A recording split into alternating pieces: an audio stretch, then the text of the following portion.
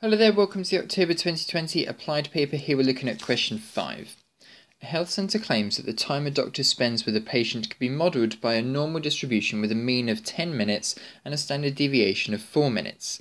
Using this model, find the probability that the time spent with a randomly selected patient is more than 15 minutes. So in this question here, we have an x distribution where the mean is 10 minutes and the standard deviation is 4 minutes. And what we want to find is the probability that x is less, sorry, is more than 15. So this is a standard question for the calculator. Go to mode 7 on the calculator, hit mode 2 for normal CD, and you want to input the variables of 15 being your lower bound. You don't really want an upper bound, so type something like 999 or 9999, uh, standard deviation 4, mean of 10, and press enter, and you get your answer. Write it to three significant figures, 0.1, 06. So there we are, standard question for the calculator there. Let's move on to part B. Some patients complain that the mean time the doctor spends with a patient is more than 10 minutes.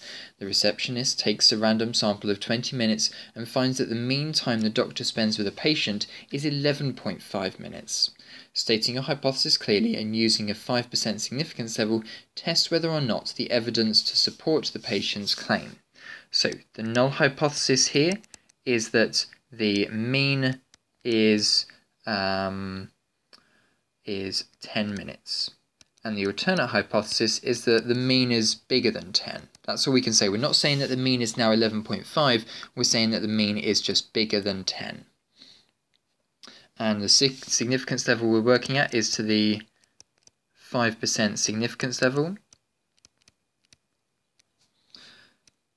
And we have an x distribution which is normally distributed with a 10 as the mean. We're going to assume it's still 10 uh, with a standard deviation of 4.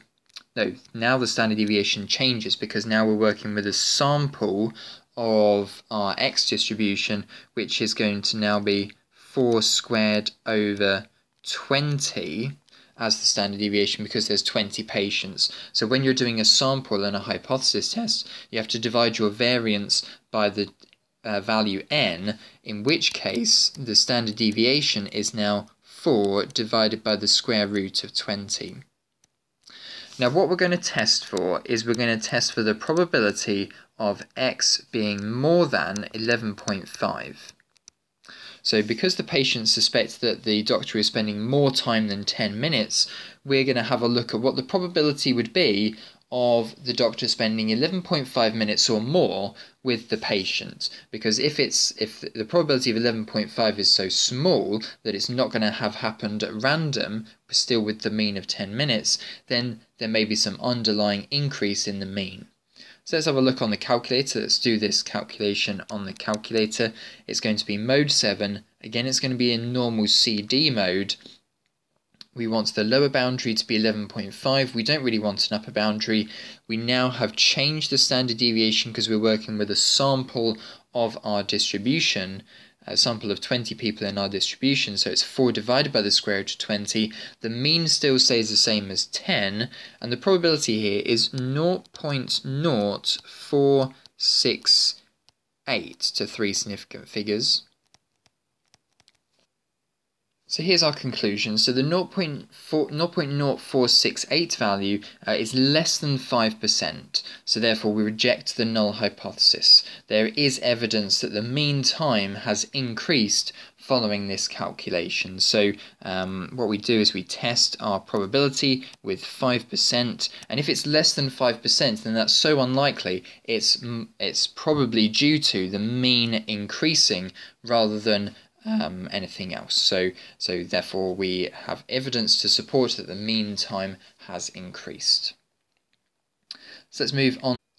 Okay, so moving on to part C now. The health centre also claims that the time a dentist spends with a patient during a routine appointment, T minutes, can be modelled by a normal distribution where T is normally distributed with a mean of 5 and a standard deviation of 3.5. Using this model, finds the probability that a routine appointment with a dentist takes less than two minutes. Okay, so it's kind of a standard probability question here. So part I, find the probability of x, no, not x, t is less than 2. So you go to your calculator, Uh, mode 7 again, mode number 2 for normal CD, and you want the upper boundary to be 2, you don't really want there to be a lower boundary, and your answer there is 0.196. So a standard kind of calculator question. Moving on to part B, find the probability that t is less than 2, given that t is greater than 0. Now let's just remind ourselves of what the formula is for conditional probability. It's going to be the probability of B given that A is true equals the probability of A and B over the probability of A. This is a, a rule in the formula booklet or a general rule of probability for conditional probability. Now what does that say about question 2? It says that the probability of t being less than 2, given that t is greater than 0, should be equal to the probability of both, so, so the intersection of both, which is going to be that the probability that the time is in between 0 to 2, over the probability that t is greater than 0. So we need to work out both of these and then divide one by the other. So let's work out the probability that the time the patient spends with the dentist is in between 0 to 2 minutes. So we'll go to our calculator, lower boundary of 0, upper boundary of 2, standard deviation 3.5, mean of 5, and that's going to give us an answer of 0.119. Now I'll write down 0.119, but my calculator I'll save this to make sure my answer is as accurate as possible, so I'll press STO, then the A button. The next thing we need to do is we now need to work out the denominator. So we now need to work out to go back into that same mode on the calculator with a lower boundary this time of 0 and no upper boundary. So this is working out the probability that the time spent with the dentist is 0 or more. And that gives us an answer of 0.923. Now when we do 1 divided by the other, so we'll go, uh, we'll store this as value b, and then we'll go back into the main mode of the calculator and do a divided by b and this gives us 0.129 to three significant figures. And it's so helpful having that store feature there doing the division for us with the accurate answers as much as possible.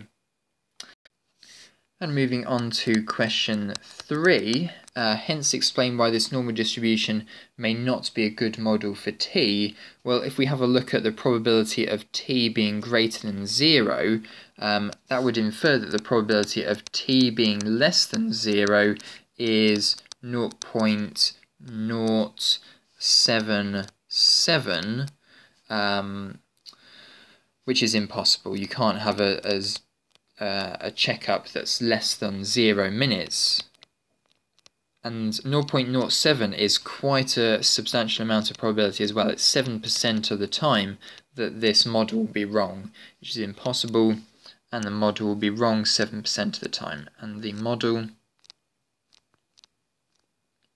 will be wrong 7% of the time. Well, about 8% of the time. And that's not including the time where you will only have a checkup for one minute. It's definitely going to take more than one minute uh, to have a good checkup, so it's at least strong 8% of the time, um, potentially more as well. And let's move on to part D then. The dentist believes that she cannot complete a routine appointment in less than two minutes. She suggests the health centre should use a refined model only including these values of t greater than 2. Find the median time for a routine appointment using this model, giving your answer correct to one decimal place. So what's going to be helpful here is to draw out the normal distribution to think about what we're going to do in this question. So what we've got is a normal distribution where the mean is 5 and the standard deviation is 3.5. Now what the dentist wants to do is to ignore all times that are from 2 or fewer. So we want to now ignore this probability here and the question asks us to find a new median time. Now what the median time will refer to is the new time, so it's probably going to be more than 5 now because we're ignoring these values here, where we have half our probability on this side and half our probability on this side. So let's first work out what this probability we're going to discard on the left hand side is. So let's go into an upper bound of 2, lower boundary that we're not um, counting, and we're going to get 0.196. So now what we want to do is work out what the rest of this probability up here is. So let's save it as A, and then recall it, and then do 1 minus A, and that's going to give us 0.804. Now what we need to do next is we now need to half that date, half that probability to work out where our median is going to be. So if we now do answer divided by 2, we have 0.402 probability here and 0.402 probability here. So now what we want to do is we now want to work out what this value here is, where we have the probability of this um, this amount here. So we have 0.196 and 0.402. So we're going to use the inverse mode on the normal calculator uh, to work out this value here. So what that's going to involve is, um, in fact the diagram is fine as uh, working marks for this question here. So what we'll now do is we'll save that as value b. And now what we're looking to find on the inverse normal mode of the calculator, that's mode 3 now, is the probability where we have an area that is A, this is A, and this is probability that's representing B. So probability area of A and B, where the standard deviation is 3.5 and the mean is 5, and the answer there is going to be 5.87. 5.87. 5.87 is the answer to that question there, so 5.87 minutes. So we probably want to write down some workings for that, so we wanted to find the probability of x, no, t being less than, what was the probability that we were looking for? 0.5, no, so probability of t is less than k equals 0.5 978. That was the probability area we wanted to find. We want to work out the value k, so we're therefore right, therefore k equals 5.87 minutes. And there we are, that's the answer for this question here then. So that's five question five worth a total of 15 marks for this question here. And that's all the stats section completed now. So we'll now move on to the mechanics questions for the October 2020 paper.